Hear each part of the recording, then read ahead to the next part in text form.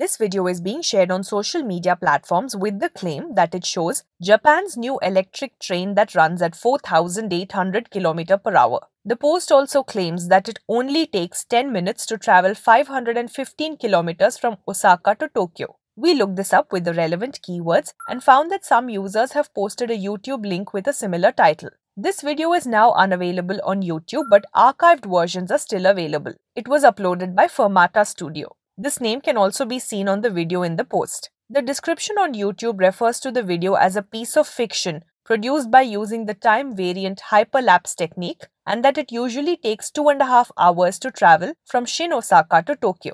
Internet sources confirm that the travel time between Osaka and Tokyo is around 2 hours 30 minutes on the Shinkansen or bullet train. The website of the Central Japan Railway Company states that the maximum speed of the Shinkansen is 285 km per hour. The claim of 4800 km per hour has been debunked by several fact checkers around the world.